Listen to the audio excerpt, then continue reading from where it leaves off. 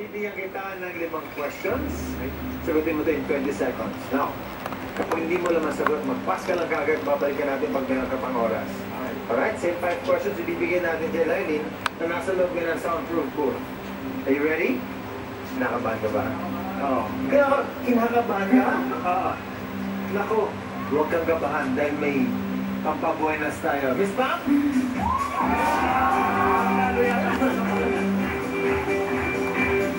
Mother there.